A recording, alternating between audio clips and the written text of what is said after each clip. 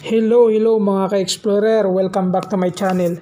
In this video, I'm going to teach you on how to transfer your Binance uh, P2P balance to your Binance Spot Wallet. A while ago, I purchased 102 worth USDT using uh, P2P trading. Okay, I'm gonna show you. Here's my P2P balance. Okay.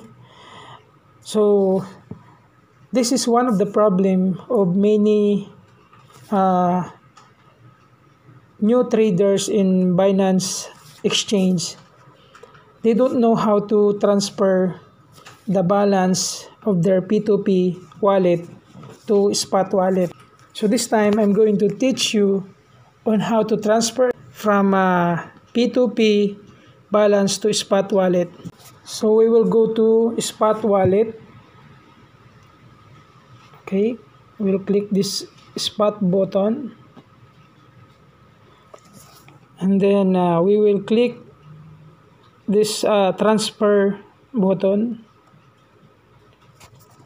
And uh, this one, the transfer uh, button, will change from uh, P2P to spot wallet. Use by clicking this one. This one. Okay so then uh, we will choose USDT because my fund is in USDT currency.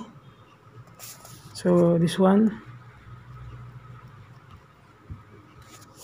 Then click max. So 102.04 USDT will be transferred to my spot wallet. Then click transfer this one. Okay. So